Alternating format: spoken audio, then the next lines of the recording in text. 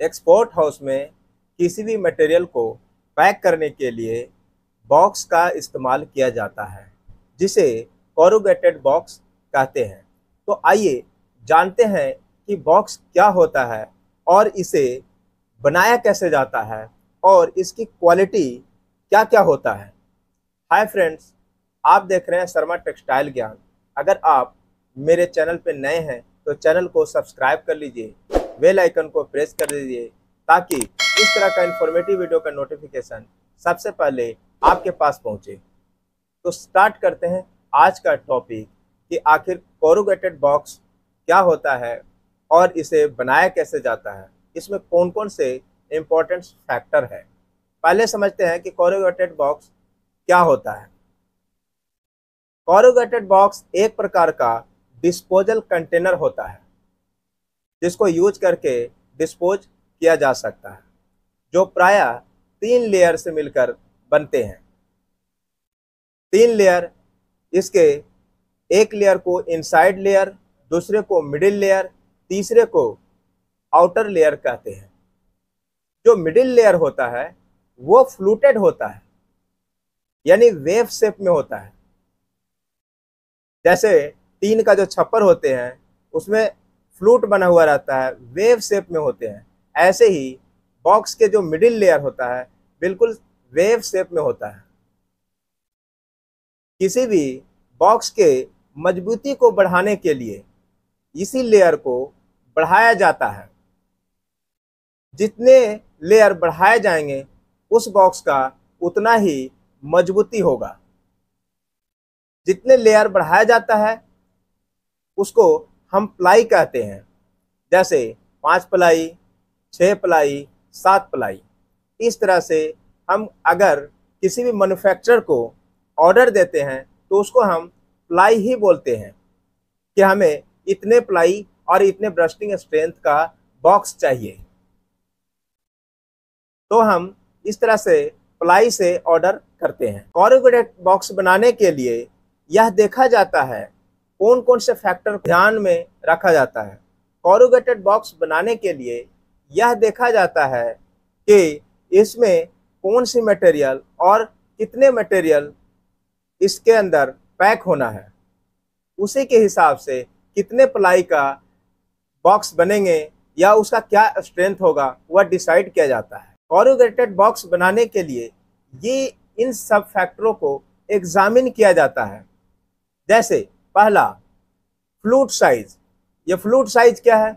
यानी कि जो मिडिल लेयर है, जो वेव शेप है, जो फ्लूट बना हुआ है, उसके साइज़ को मापा जाता है। ये साइज़ को कैसे मापा जाता है? एक फुट के अंदर कितने फ्लूट बन रहे हैं, वो मापा जाता है। जनरली मान लिया जाए कि एक फुट के अंदर, अर्थात 12 इंच के अंदर, अगर 36 36 फ्लूट बन रहे हैं, और दूसरे बॉक्स को अगर हम मापते हैं और एक फुट के अंदर इकतालीस फ्लूट बन रहे हैं, इसका मतलब है कि एक फुट के अंदर जो 36 फ्लूट वाले से 41 फ्लूट वाला ज़्यादा डेंसिटी और मज़बूत होगा। दूसरा, ब्रस्टिंग स्ट्रेंथ ब्रस्टिंग स्ट्रेंथ जाँच करके फिर उस पेपर के क्वालिटी और उसके बॉक्स की क्वालिटी को समझते हैं। ब्रस्टिंग स्ट्रेंथ पुराने ज़माने से निकालने की प्रक्रिया चला आ रहा है, जिसको मुल्ले टेस्ट भी कहते हैं। ब्रस्टिंग स्ट्रेंथ में 90 किलो वाट को फोर्स फोर्स लगाया जाता है एक स्क्वायर इंच पेपर के ऊपर। तीसरा है एज क्रस्ट स्ट्रेंथ। ये एज क्रस्ट स्ट्रेंथ क्या है? किसी भी पेपर को वर्टिकल रखा जाता है और उसके ऊपर 25 किलो वज़न से उस पर प्रेस किया जाता है। उसमें फिर देखा जाता है कि कितने उसका सेप या कितने फटा है, वो सारा चीज़ देखा जाता है और नोट किया जाता है। ये होता है एज क्रश स्ट्रेंथ। चौथा है फ्लैट क्रश स्ट्रेंथ।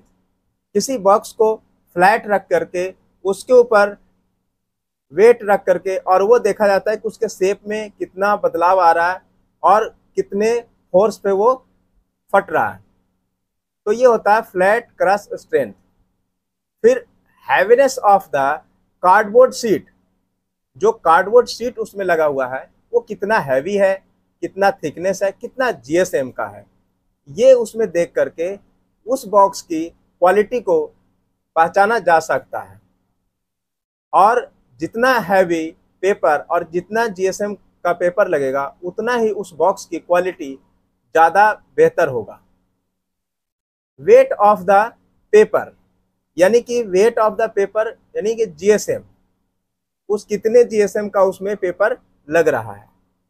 जितना हैवी जीएसएम का पेपर लगेगा, उतना ही उसका अच्छा ब्रस्टिंग स्ट्रेंथ होगा। Type of the surface treatment यानी कि उसके सरफेस के ऊपर कितने तरह के ट्रीटमेंट किया गया है। यानी कि जब पेपर की लेयर लगाया जाता है और उसके ऊपर ग्लू लगाया जाता है वो जो ट्रीटमेंट किया जा रहा है वो कितने तरह के किया जा रहा है? ये इस, इस तरह के सात तरह के आप एग्जामिन करके आप बॉक्स को तैयार करने में काफ़ी मदद मिलता है। इन सात तरह के एग्ज़ाम करके समझ करके बॉक्स को बनाया जाता है। अब हम कुछ महत्वपूर्ण एलिमेंट्स को हम यहाँ चर्चा करेंगे। यहाँ पे तीन ऐसे एलिमेंट्स हैं जो बहुत ही महत्वपूर्ण हैं। और उसको हम समझते हैं कि कौन से एलिमेंट को क्या कहते हैं। पहला है सिंगल वाल, दूसरा है डबल वाल, तीसरा है ट्रिपल वाल। ये सिंगल वाल, डबल वाल और ट्रिपल वाल क्या है? जब जो वेव यानी कि फ्लूट वाले लेयर सिंगल होंगे, और उसके नीचे और एक ऊपर केवल सीट चिपकाया हुआ होता है तो ऐसे ऐसे पेपर को सिंगल वाल कॉरुगेटेड बॉक्स पेपर कहते हैं।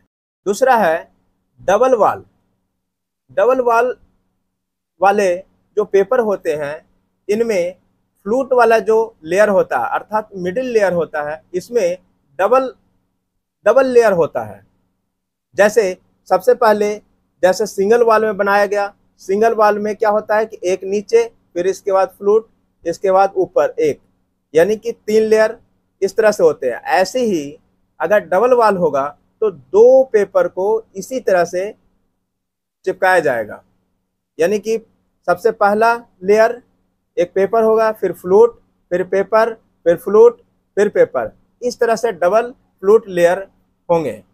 तो इस तरह के जो पेपर होंगे, उसको हम double wall corrugated box paper कहेंगे। या सिंगल वॉल पेपर से डबल वॉल पेपर ज़्यादा मज़बूत होता है।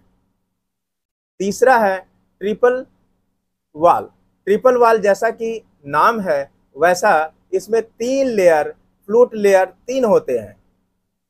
और इस तरह से ये सिंगल वाल और डबल वाल दोनों से ये मज़बूत होता है। इस तरह के जो बॉक्स होते हैं, उसमें हैवी मटेरियल को पैक करने के लिए किया जाता है। अब कॉरुगेटेड फ्लूट्स जो होते हैं, जो बॉक्स के बीच में फ्लूट वाले लेयर होते हैं, वो पाँच तरह के होते हैं। अब उसको समझते हैं कि ये कौन कौन सा पाँच तरह के होता है। जैसे ए बी सी ई और एफ़ ये पाँच तरह के फ्लूट लेयर होते हैं। अब पाँचों तरह के फ्लूट लेयर को ये ए बी सी ई और एफ़ के नाम से नामांकन किया गया है। ए का मतलब इसमें क्या होता है? फुट के अंदर 36 फ्लूट होते हैं। तो इस तरह के, इस तरह के फ्लूट वाले पेपर को A type flute box paper कहते हैं। दूसरा होता है B B type flute box paper तो इसमें क्या होता है कि एक फुट के अंदर 49 फ्लूट होते हैं। यानी ये वा, ए वाला से ये बी थोड़ा ज़्यादा डेंसिटी इसमें ज़्यादा होता है और इसकी मजबूती भी ज़्यादा होता है। तीसरा है C type C type corrugated box paper में इसमें एक फुट के अंदर 41 फ्लूट्स होते हैं। एक फुट के अंदर कितने? 41 फ्लूट्स होंगे। यह सबसे ज़्यादा इंडस्ट्री में प्रयोग में लाए जाने वाले बॉक्स का पेपर है। चौथा है ई। ई टाइप में इसमें एक फुट के अंदर 90 फ्लूट्स होते हैं। इस तरह के बॉक्स काफ़ी मज़बूत और काफ़ी हैवी मटेरियल पैक करने के लिए प्रयोग में लाया जाता है। पांचवा और अंतिम है F type corrugated box. Paper. Type corrugated box paper में इनमें क्या होता है कि एक फुट के अंदर, अर्थात 12 इंच के अंदर 128 फ्लूट होते हैं। यानी ये सबसे अच्छा और इसमें इसकी फ्लूट की डेंसिटी काफ़ी अच्छा होता है। तो इस तरह से ए बी सी ई एफ़ तरह से अलग अलग टाइप्स करके बॉक्स के जो एलिमेंट्स है उसको पहचान किया जा सकता है कि कौन सा कितने अच्छे क्वालिटी का बॉक्स है। आई होप इस वीडियो से आप बहुत कुछ बॉक्स के बारे में जानकारी लिए होंगे। हालाँकि बॉक्स के एक एक टॉपिक के ऊपर एक एक वीडियो बनाया जा सकता है, लेकिन यह काफ़ी वीडियो लंबा हो जाएगा, इसलिए हम केवल मेन मेन पॉइंट को इसमें रखे हैं। तो मिलते हैं इसी तरह से नए इन्फॉर्मेटिव वीडियो के साथ। तब तक के लिए जय हिंद जय भारत।